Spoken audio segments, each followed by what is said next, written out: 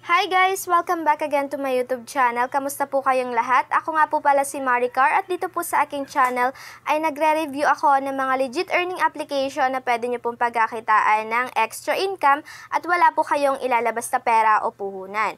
So kung bago pa lamang po kayo dito sa aking channel, huwag nyo pong kalimutan mag-subscribe, like this video, share, and hit the notification bell para lagi po kayong updated sa mga bago kong videos. So ayun guys, without further ado, let's go to the video.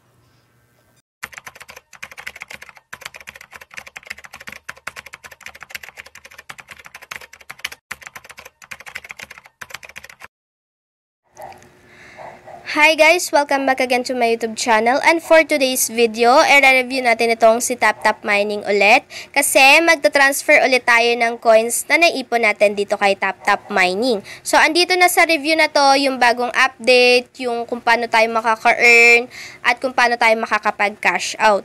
Na-release po pala itong application na ito noong October 28, 2021.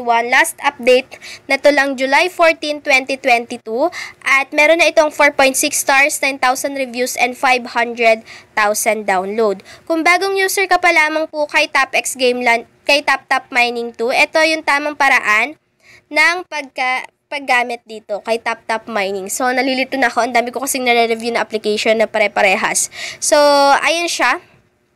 Yung upgrade chest, pindutin nyo yan. Ito yung lalabas. Gawin nyo yan, tatlo na yan. Click nyo na lang yung go now para ma-direct kayo doon. Sa una, magbabayin kayo ng account nyo. Mag-login lang kayo sa inyong Facebook or Google account. Pangalawa, mag-lucky draw kayo. So, 7 times, ibig sabihin 7 times din kayo makakapanood ng advertisement. Kasi every spin ay kailangan nyo manood ng advertisement. Pangatlo, ay mag-open kayo ng isang treasure chest. Then, kapag kompleto na yan, click nyo na lang yung upgrade. May lalabas na po na gold shop dito. So, next na po natin, pupunta na tayo kay Tap Tap Mining. And yung mga ways of earnings po dito para maka-earn tayo, coins yung kailangan nating ipunin, yan yung ipapang-convert natin into real cash. So, dito ang gagawin nyo lamang, itatap-tap nyo lamang ito.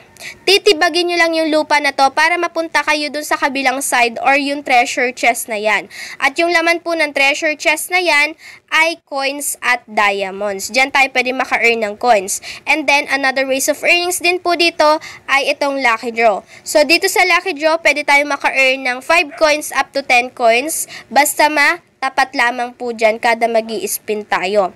So, dito sa upgrade gift, ang nakalagay na I get it now kasi ang laman na lamang po niyan ay coin. So, pwede natin makuha yan. Hindi ko na itat uh, ipipindutin yan or i-claim kasi may advertisement na lalabas. So, dito sa account, andito yung ating profile, andito din yung ating invitation code. So, another ways of earnings, hindi mawawala ang pag invite Hindi naman required mag invite pero kung gusto nyo mag invite ito yung tamang paraan ng pag invite nyo. I-click nyo lamang po yung friends. I-share nyo yung link nitong application na ito sa inyong mga kaibigan or sa inyong mga social media friends. Then, ipa-download nyo po ito sa kanilang Play Store. Kapag dinownload na nila, ipagamit nyo yung inyong code invitation, then ipalagay nyo dito sa fill in the code para maging valid. Sila ay makaka-receive ng 100 coins kada may gagamit ng inyong invitation code. At kayo din po ay makaka-receive ng commission kada may gagamit ng invitation code nyo na ilalagay dito sa fill in the code. So, yung tamang paraan ng pagka-cash out dito, yung withdraw na nandito, useless na po yan sa bagong update ni TapTap Mining. May i-click po tayo ditong gold shop yung balance ko ay nasa 6,476 coins. Ang pipindutin nyo po dito, ito lang. Ayan. Kung ano yung may sapat kayo na balance, i-click ko yung 5,000. Ganito yung lalabas. So, may ipapakita na lang ako sa next video na kung ano yung gagawin nyo. Same lang din naman sila kung paano nyo gagawin ito. Basta meron kayong ida-download na application, kailangan nyo po iyon. So, ita-transfer ko lang yung coins na ito. Click ko lang yung buy now. Yung 5,000 coins na yan ay papasok dun sa application na ida-download po natin. At yun po ay si TapX Game Launcher. So, yung balance ko ay 16,000. Diyan papasok yung 5,000 na galing kay uh, TapTap Mining. At ayan na po siya. 21,109 coins na yung balance ko. So, dito na po tayo magta-transfer ng coins galing kay TapTap Mining at dito na tayo magka-cash out. Nasa next video yung tutorial kung paano tayo makakapag-cash out dito. Anyway, yung pwede nyong i-transfer na coins ay 5,000 up to 50,000 coins. So, i-click ko lang yung 5,000 na nandito. And then, ganito po yung lalabas. So, kailangan yung gawin yung step 1, step 2, step 3, step 4, at step 5. So, sa step 1, ikiklik natin yung download now. Tapos, download natin itong si TapX Game Launcher. Kasi, yung mga coins na naipon po natin kay Crazy Work Life, ita-transfer po natin kay TapX Game Launcher. Diyan po papasok yung coins natin at diyan po tayo magka-cash out. And then kapag inopen nyo na po or na-download nyo na si TapX Game Launcher, buksan nyo po siya, ganito yung lalabas. Ayan. Kapag bagong user pa lang kayo kay TapX Game Launcher, ganyan yung lalabas. Etong pink na rocket na to, yung bilog na yan, kailangan siyang maging PayPal logo kasi dyan po tayo magka-cash out.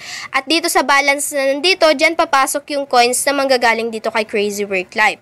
So, para mabuksan yan at maging PayPal logo po yung bilog na kulay pink na yan, click nyo lang yung mga go-go dito Ayan. Gawin nyo tong tatlo na to. Una, mag-login kayo ng inyong Google account. Pangalawa, mag-lucky draw na naman kayo ng 6 times katulad ng ginawa nyo dito kay Crazy Work Life. And then, pag natapos nyo na yung una at pangalawa na yan, exit na kayo. Yung bind new game, madami yung nalilito kung paano nyo yung gagawin. Exit na kayo dito kapag nagawa nyo na yung dalawa. Then, babalik po kayo kay Crazy Work Life. May makikita kayo ditong step 2. Dito nyo na i-connect yung dalawa na yan. I-click nyo lang dito yung bind now click nyo yung authorize now, and then, pag connected na yan, babalik kayo kay TapX Game Launcher, makikita nyo, kompleto na yung sa bind new game, click nyo yung upgrade now, and then, click nyo yung zoom in, makikita nyo na lamang po na okay na napalta na yung bilog ng PayPal logo.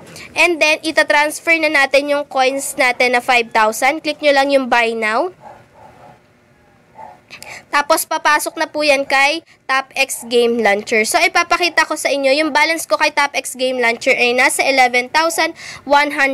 Magiging 16,000 yan kasi papasok po dyan yung 5,000 na galing kay Crazy Work Life. So, ayan na po siya. 16,109 coins na po yung ating balance. Pumasok na dyan. So, para makapag-cash out tayo, So, ang tips ko din pala dito para maka-earn kayo ng mas madaming coins, i-download nyo yung lahat yung application na connected dito kay TapX Game Launcher. Ilalagay ko yung mga link dyan sa description box. Para makapag-cash out na tayo, click natin yung PayPal logo na nandito. Andito yung record. Andito, ang dami ko nang na-cash out dito. Nasa 2,658 na lahat yung na-cash out ko dito. Yung isang 500 reviewing pa lang, hindi pa dumadating sa akin Gcash account kasi 3 to 7 working days yung kailangan nating hintayin bago pumasok yan sa ating GCash account. Andyan sa screen yung proof of payment na pinadala talaga sa akin or nakapag-cash out talaga ako dito kay TapX Game Launcher. So, dito, kung gusto nyo mag-cash out, apat yung pagpipilian, PayPal, GCash Payer, and Dana.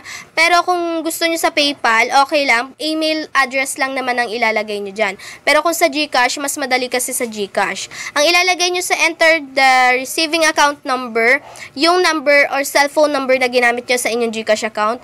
Then, dun sa pangalan na isa, yung receiving account name, pangalan nyo po sa inyong Gcash account. Then, itatap nyo na lang kung ano yung gusto nyong i-cash out dito. Basta meron kayo sapat na coin balance. And then, click nyo na lamang yung redeem now. Hintay kayo ng 3 to 7 working days bago pumasok yan sa inyong Gcash account. Hindi kasama ang weekends and holiday sa pagbibilang. So, ayun, dito ka nito natapos tong video na to. And thank you for watching.